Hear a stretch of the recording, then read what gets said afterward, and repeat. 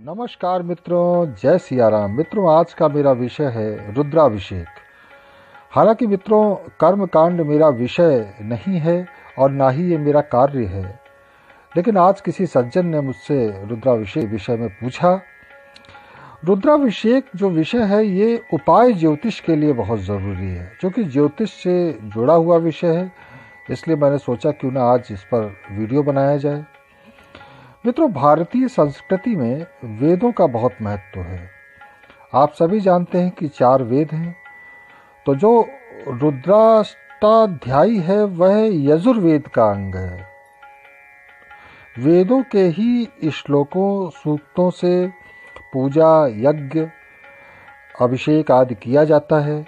वेद शिव के ही अंश हैं। कहा भी गया है कि वेद शिव शिवो वेद। अर्थात वेद ही शिव हैं, तथा शिव ही वेद हैं।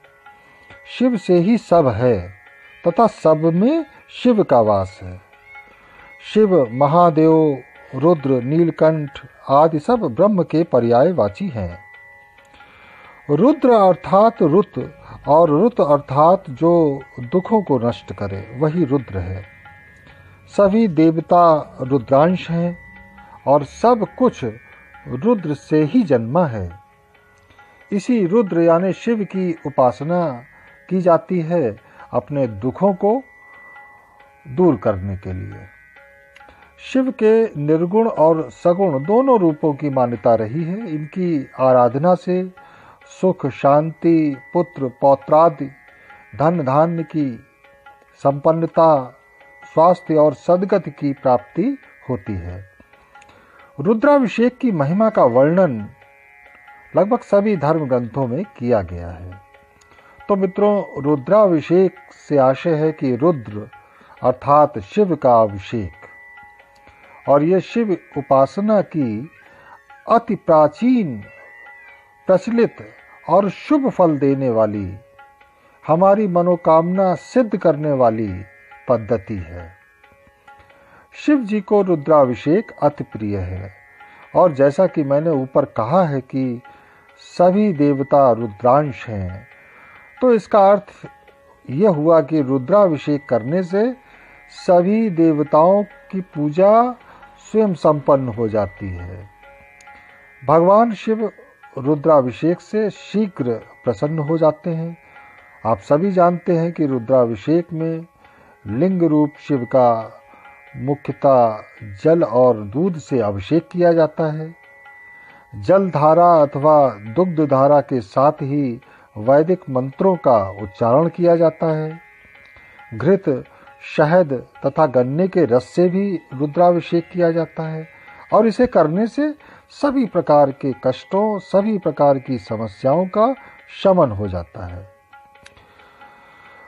मित्रों, अब थोड़ी ज्योतिष की अगर बात करें तो ग्रहों की अशुभता से यदि आप परेशान हैं, ग्रह दशा प्रतिकूल चल रही है मार्केश की दशा चल रही है, कुछ अरिष्ट होने की आशंका है।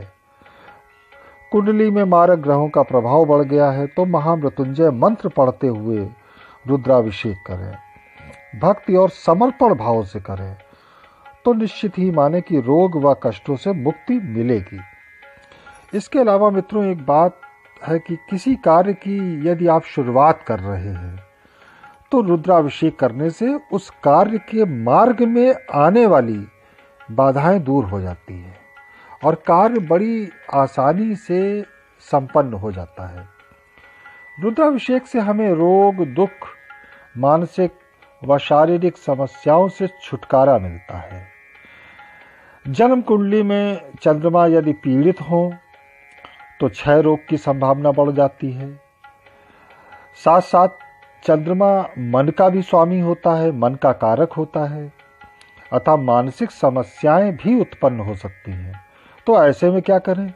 तो ऐसे में मित्रों, चंद्रमा को मजबूती प्रदान करना ज़रूरी हो जाता है और हम रुद्राभिषेक यदि करें तो इसमें लाभ होता है।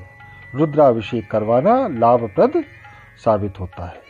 गंभीर तरह के रोगों को दूर करने के लिए भी, या उनसे बचाव के लिए भी रुद्राभिषेक सबसे अच्छा उपाय है। घरेलू समस्याएँ अगर बढ़ती चली जा रही हो, वाद, विवाद, टकराव आदि की स्थिति रोज़ाना होने लगे, घर में अशांति का वातावरण रहने लगे तो फिर रुद्राभिषेक से लाभ मिलता है।